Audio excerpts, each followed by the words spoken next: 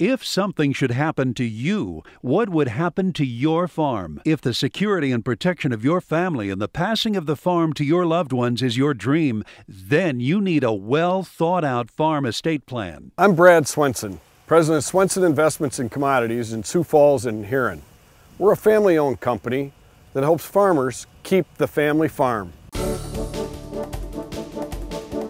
Brad, I'm kind of torn. I like saving money, but if I have a problem, I'd like somebody to help me out solving that problem. well, during our Farm Basics time today, we're going to talk about name brand versus generic pesticides. It's the same thing like with pharmaceutical products, for example. You can go to the drugstore and here's one name brand product and right next to it it'll say same as this other product. Well, the thing is with ag chemicals, it isn't necessarily exactly the same. So you could get a what's called generic glyphosate, and it might not be the same as name brand Roundup. There would be a couple of main things that would be different. Well, there are really some major differences. The salt could be different. There's a four pound or six pound product on different salts. The concentration. The, the concentration is different. And also the surfactant that's in there, or if there's any surfactant in there. What surfactant is, is that's what helps that product move through the leaf surface and get into the plant. And if you have a little more surfactant, it's going to be a little more consistent throughout variable weather conditions. And if you have no surfactant at all, well, it just might not get all that glyphosate down into the leaf. So that's a big difference in a lot of these products. Yeah, and that's just on the technical side of things. Then there's the program side.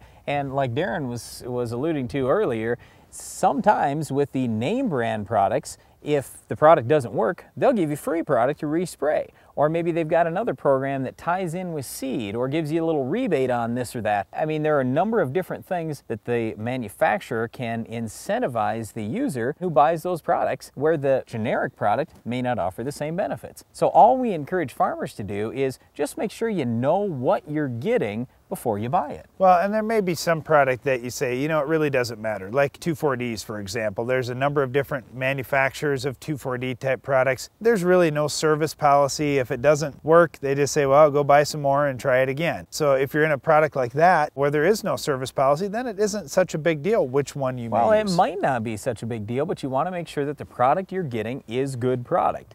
And if it's, let's say, made in the United States, you know that there are Uh, at least chances are, better quality controls than a product made somewhere else in the world. We don't know that for sure, but in our own experience, that's kind of what we have found in the past. So as a farmer, you've got to look at all these things and you've got to weigh out, well, how much can I really save with that generic product? How much additional money will I invest with the name brand product? And you know what? In some cases, some of the generic products, they actually have better programs than the name brand products. So well, again, you just have to know what you're getting. It's interesting. On some like the some of the generic insecticides that are available on the, on the market, they actually have risk sharing programs where, hey, if you need to respray, maybe there's certain generic products that will help you out with a respray. If so, that just changes my opinion of which one I want to get. So you have to look at how much risk you want to take on yourself and how much risk someone else is willing to share because that has value as well. And the other big thing here, when we start talking about name brand versus generic pesticides, very often farmers are investing fifty or $100,000 in pesticides on their farm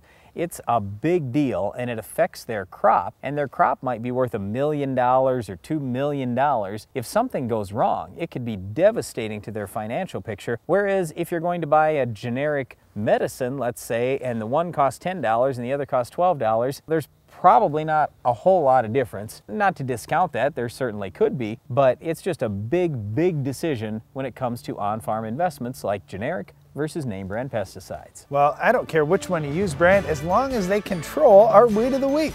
We'll show you which products you might choose coming up later in the show.